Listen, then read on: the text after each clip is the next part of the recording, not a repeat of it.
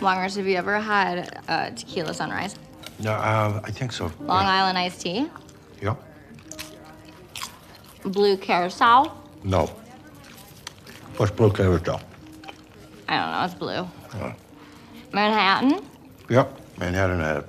Slow gin fizz? No. Just vodka straight? No, I've had uh, vodka and yak milk. Never again. Do you have any of that here?